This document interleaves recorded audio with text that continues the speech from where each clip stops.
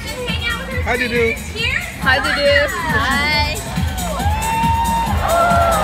Wow. You're vlogging. She's our oldest bottlenose dolphin at 38 years old.